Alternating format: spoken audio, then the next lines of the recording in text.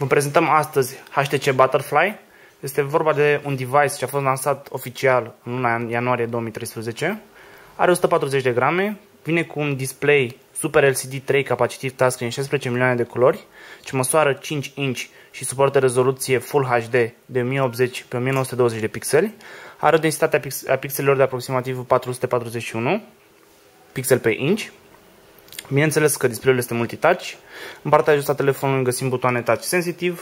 Observăm butonul de acasă sau cel care ne scoate din aplicația în care suntem. Butonul ce ne ajută să vizualizăm aplicațiile ce rulează în background, care bineînțeles desigur pot să fie închise fără nicio problemă pentru a economisi uh, baterie și memorie RAM. Butonul de înapoi. În partea de sus a telefonului observăm o cameră. Este o cameră secundară de 2,1 megapixeli ce poate să înregistreze Full HD 1080p la 30 de frame pe secundă. Partea jos a telefonului observăm un uh, microfon separat pentru anularea zgomotelor din jur. Găsim un port microSD, micro-USB, cer scuze, pentru cable date, respectiv uh, încărcător. În partea din dreapta găsim tastele de volum, Sus observăm butonul ce închide, respectiv deschide telefonul, gea de 3,5 mm pentru căști, accesoriu care desigur se regăsește în cutia telefonului. Găsim un uh, loc pentru microSIM, trebuie să folosim un, această cheiță, observăm că găsim și pachetul telefonului, o cheiță sau un bold pentru a, să putea, să, pentru a putea scoate uh, slotul pentru microSIM. În partea de pe spate a telefonului observăm o cameră este o cameră de 8 megapixel și poate să facă poze la o rezoluție 3264 pe 2448. Intrase în modul demo. Spuneam că este o cameră Full HD. Pe lângă posibilității, posibilitățile de a face poze la o rezoluție uh, foarte bună, putem să înregistrăm și video. Vorbim aici, bineînțeles, de Full HD 1080p la 30 de frame pe secundă. Bineînțeles că vine cu un stabilizator de imagine, alte funcții ale camerei ar fi geotagging, face smile detection, putem uh, în același timp să filmăm și să facem uh, și poze. Haideți să ne uităm puțin la softul telefonului. Vine cu Android, versiunea 4.1.1, supranumită și Jelly Bean, care se pare că deja poate fi upgradată la o versiune superioară. Din punct de vedere hardware, telefonul stă extraordinar de bine. Vine cu un procesor quad-core de 1,5 GHz Crate, un GPU Adreno 320 și un chipset grafic Qualcomm APQ 8064 Snapdragon, ceea ce ar trebui să confere o rapiditate foarte mare atât în uh, meniu, în navigare, cât bineînțeles și în diverse aplicații. Și mă refer aici în special la jocuri, că acestea sunt cele care iau cele mai multe resurse. Display-ul vine cu tehnologia Gorilla Glass, vorbim aici despre Gorilla Glass 2, este o tehnologie ce îl face rezistent la lovituri, zgrieturi și în același timp are rolul de a proteja telefonul de amprente.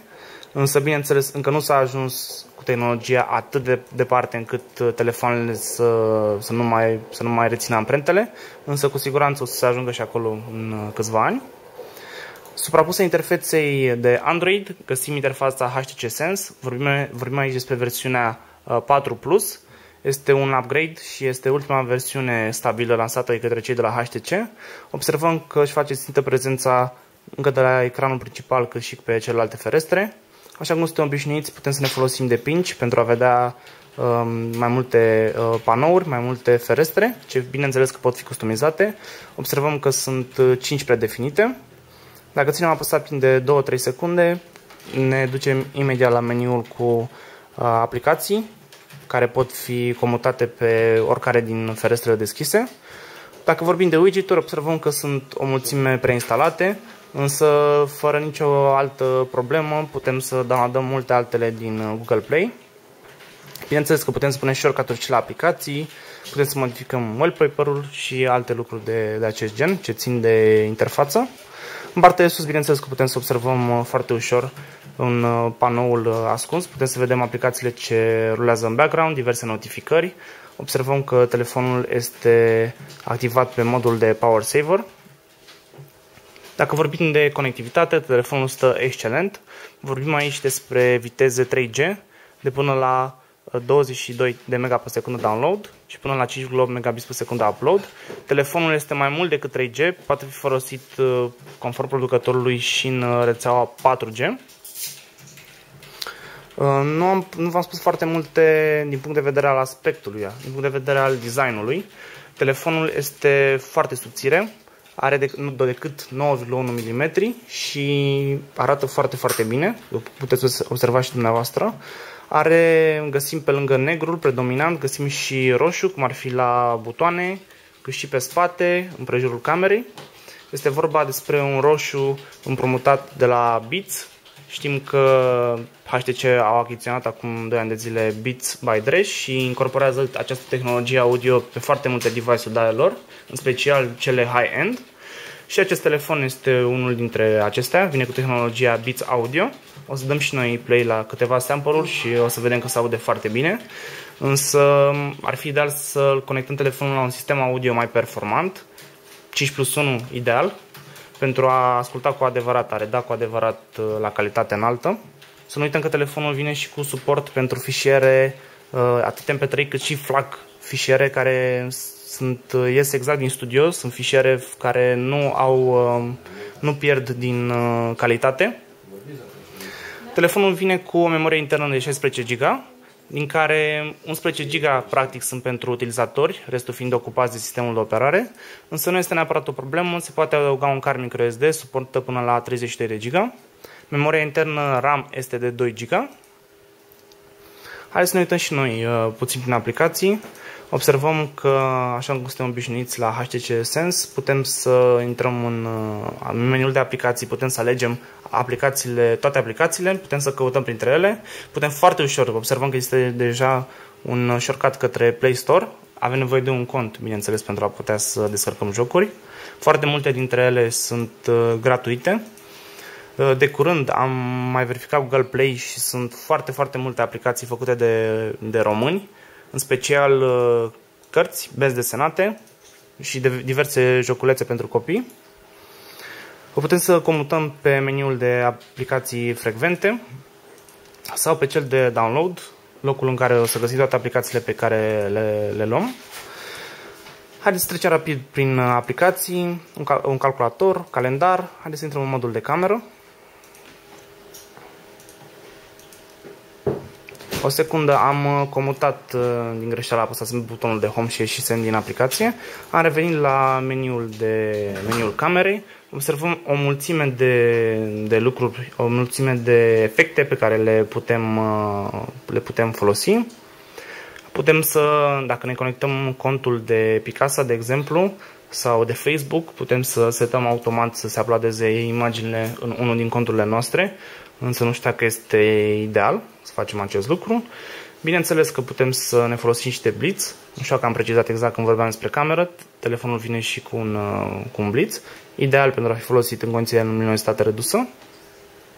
Pe spate mai găsim și un uh, difuzor pentru rădare audio, exact sub logo-ul Beats. Haideți să intrăm înapoi la aplicații. Chrome, vorbim aici despre browserul uh, nativ care este implementat pe toate device-urile cu Android de la versiunea 4.0 în sus. Putem să navigăm foarte ușor, ne folosim de pinch pentru zoom in, zoom out.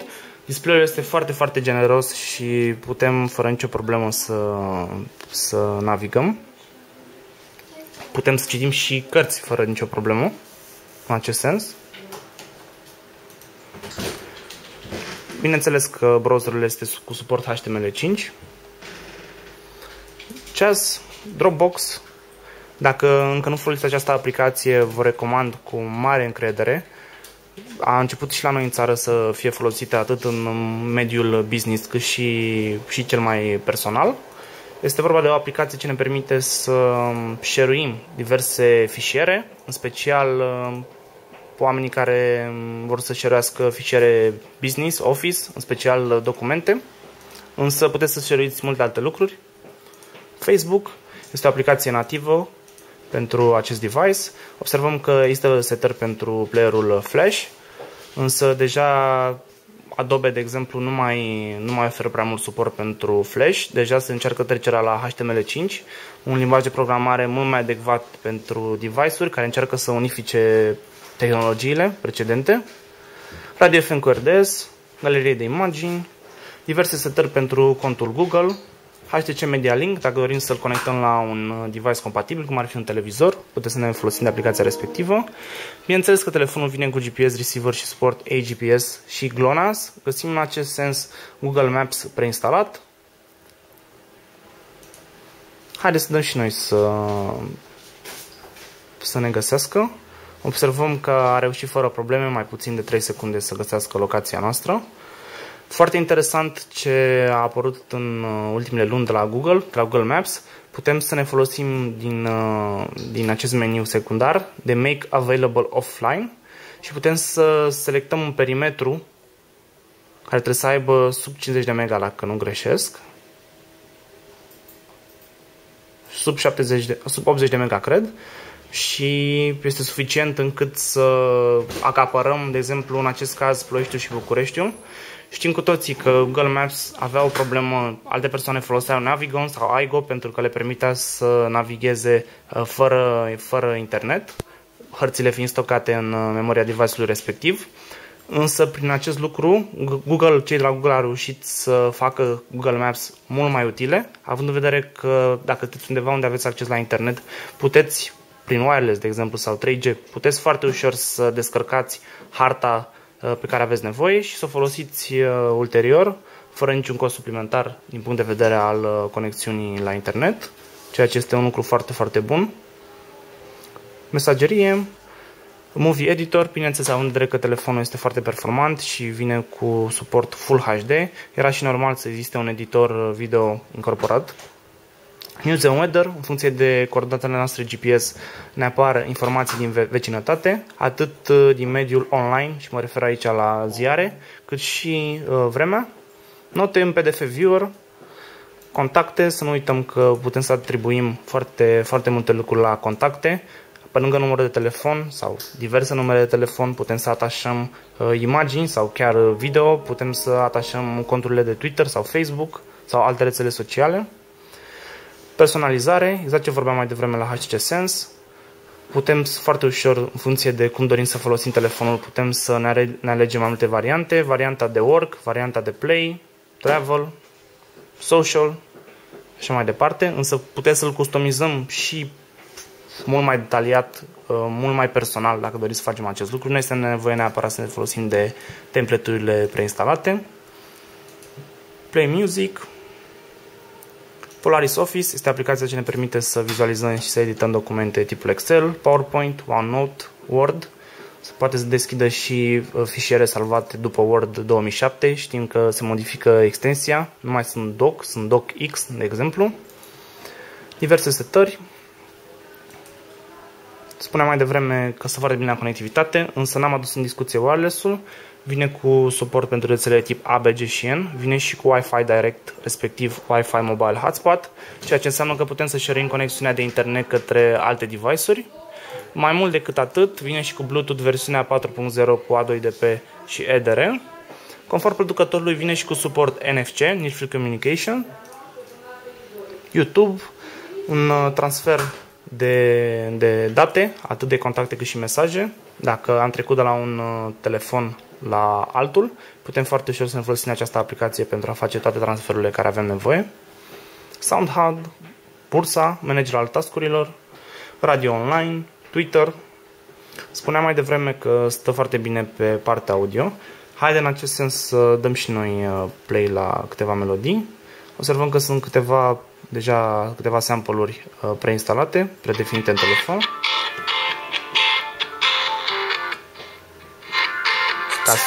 Ca să ne bucurăm cu adevărat de sunet, vă spuneam și mai devreme, ar trebui să folosim, să conectăm prin jack la un sistem audio mai performant, însă se aude foarte bine.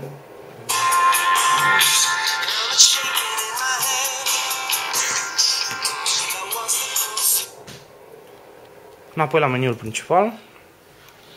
Trebuie să mai spun despre telefon că vine cu o baterie lithium polimer de 2200 mAh. Nu se poate scoate din, este încastrată în partea din spate, nu se poate scoate în acest sens.